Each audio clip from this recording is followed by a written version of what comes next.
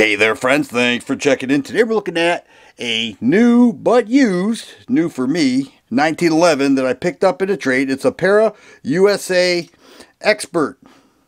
Para Ordnance was founded in 85. It's a Canadian company. In 2009 they moved to Charlotte, North Carolina and that's where this was made. Right there it is stamped.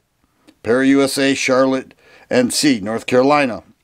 And they were there for about three years. So this gun was made between 2009 and 2012.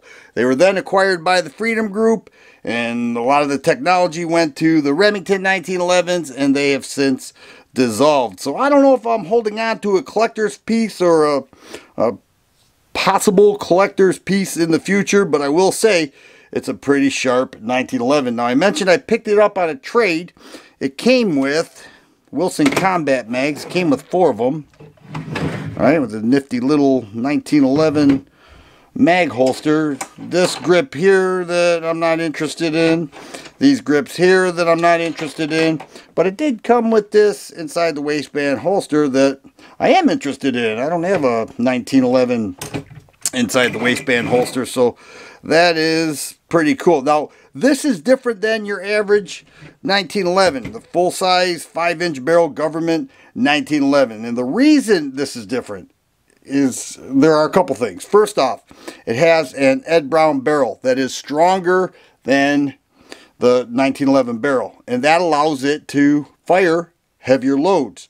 Also, it has a 25 pound recoil spring. So when I go to pull that back, it takes a lot of pressure. It's not, it's, it's, it's, manageable, okay? It's not too difficult, but it's not like this, okay? Your average 1911 has a 16 pound recoil spring, so you can see that, you know, it's nice and easy. You rack it, you know, charge the 1911, no problem over here to, to do it, to do a press check there.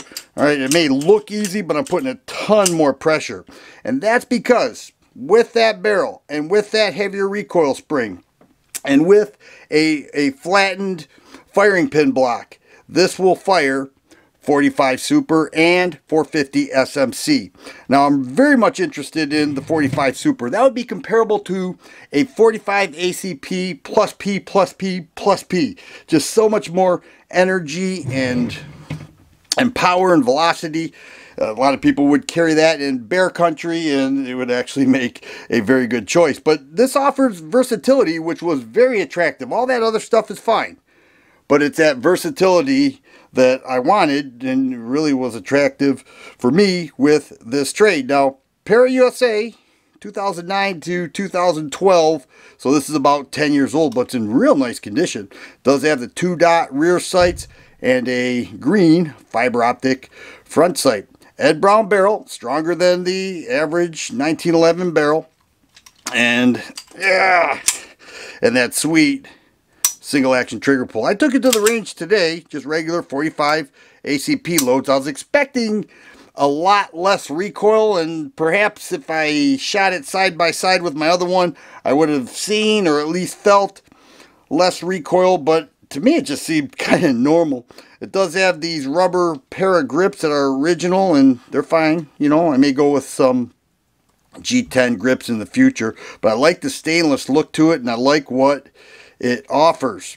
Uh, one thing though, I have to say, when disassembling the gun, especially that recoil spring, you really have to keep an eye out. That that uh, cap will come flying off so fast, it could take your eye out if you're not careful. I took it to the range today. I had a great time with it. I love 1911s. I cannot begin to express how much I love 1911s, and I'm happy to have this one in my uh, in my collection and in my possession and at the range. So let's go ahead and roll through some of that footage and we'll come back and talk more about it.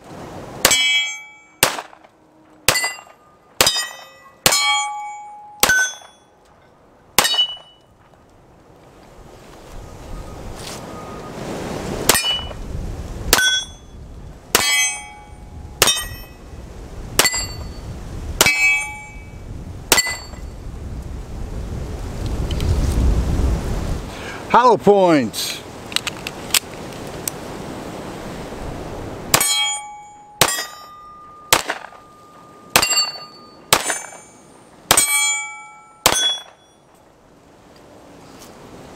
So there is my new used Para USA Expert in 45 ACP, 45 Super, and 450 SMC. I really want to get a hold of some 45 Super. I went online, I tried to score it, I knew I'd overpay. It wasn't even close. Everything is sold out across the board, but if, if anybody has any leads to some 45 Super, please let me know. Or, or 450 SMC. You know, that's just as strong, if not stronger. I, I don't know much about that at all. But I want to get a hold of one of those to see how well this handles and to do a little bit of a comparison with your standard 45 ACP 1911. But, but here it is. Just kind of a show-off thing. Wanted to show you guys what I got and all the stuff that came with it but it's a good looking gun. It's in decent shape. It's there's certainly nothing wrong with it. You know, no scratches, no evident scratch. A little bit of a dummy scratch right there. I don't know if you just a little bit, not much. Okay, could probably be buffed out, but I like that stainless look. I love the 1911, and this thing sure is a nice handgun. and I certainly appreciate the versatility that it offers.